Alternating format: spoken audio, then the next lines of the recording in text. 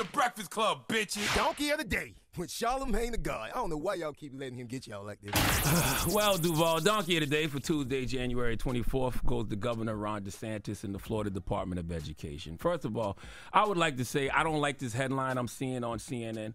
The headline says Florida gives its reasons for rejecting proposed AP African American Studies course. it's not the state of Florida. Okay, it's government officials who represent the state of Florida. But what does your Uncle Charla always tell you about Florida? The craziest people in America come from the Bronx and all of Florida. But this isn't the crazy citizens of Florida. Well, not all of them, okay? This is the crazy government officials in Florida. Now, if you haven't heard, Florida government rejected a proposed advanced placement course focused on African American studies. Oh, basically, they don't want blacks to know nothing about blacks, okay, if they are not teaching it, okay? If the hunter is not allowed to tell the tale, then the lion shall not learn, all right? You know that old African proverb until the lion tells the story, the hunter will always be the hero. Well, this is the part where they muzzle the lion, all right? Won't be no reading, writing, and roaring on they watch. Now, the one page document appeared. Uh, well, the one page document prepared by the Florida Department of Education says that it rejected a proposed advanced placement course because it included the study of topics like the movement for black lives, black feminism, and reparations, and it questioned the inclusion of certain black authors and historians whose writings touch on critical race theory and black communism. Hmm. Can I give you an example of a lesson they don't want taught? The state objects to the inclusion of writing by Robin D.G. Kelley, a professor of Af- American history at UCLA, who warns that simply establishing safe spaces and renaming campus buildings does nothing to overthrow capitalism. She not lying.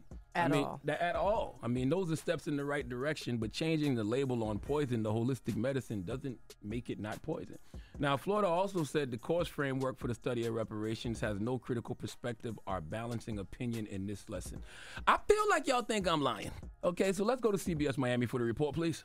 Governor Ron DeSantis is facing widespread outrage over his administration's rejection of a new course on African American studies in the state's high schools.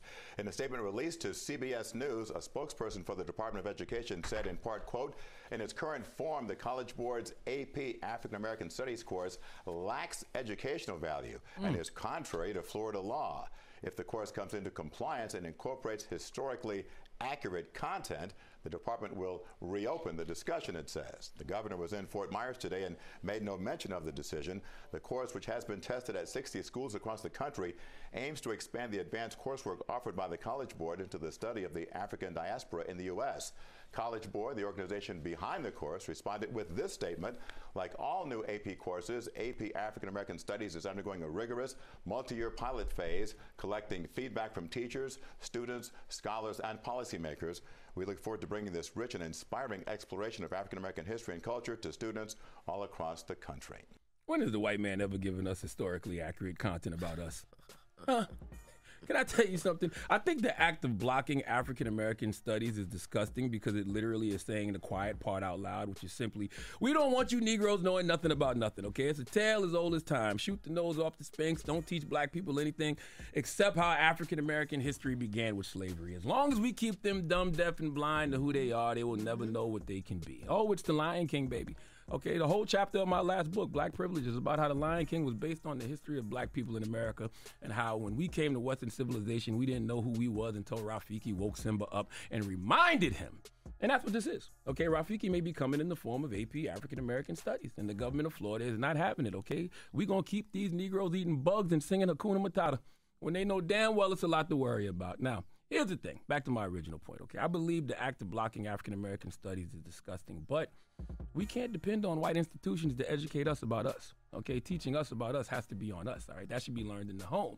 Because the reality is, you're not gonna hear about Malcolm X, Nat Turner, Denmark Vesey, James Baldwin in no public schools. Okay, they're gonna give you some MLK Jr. with a side of Rosa Parks, and that's that. Now, Ron DeSantis spoke to why he is against the African American AP studies. Uh, let's go to ABC 10 for the report, please. State Governor Ron DeSantis is speaking at a press conference today. He addressed the recent rejection of an African American Studies course at Florida high schools. This course on black history, what are one what's one of the lessons about? Queer theory. Now, who would say that an important part of black history is queer theory? That is somebody pushing an agenda on our kids. And so when you look to see they have stuff about intersectionality, abolishing prisons, that's a political agenda. And so we're on, that's the wrong side of the line for Florida standards.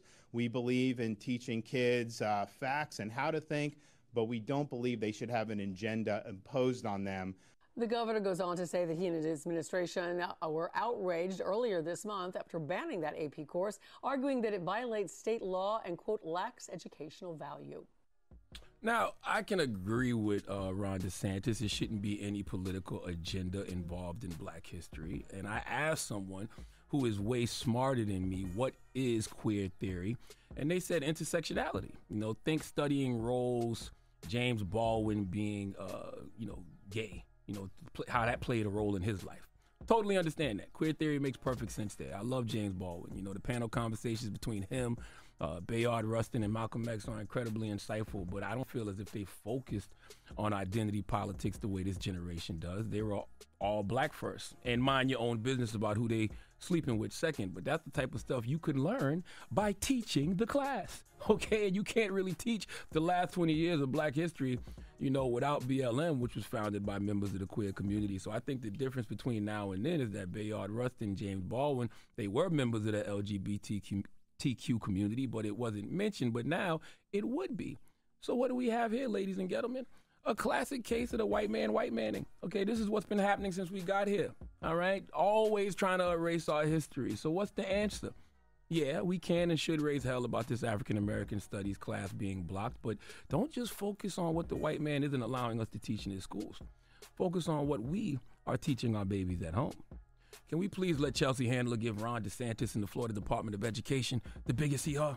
Hee haw, hee haw. That is way too much Dan mayonnaise. Donkey Today is brought to you by the law office of Michael S. Lamonsoff. Don't be a donkey. Dial pound 250 on your cell and say the bull if you've been hurt in a construction accident. That's pound 250 from your cell and say the bull.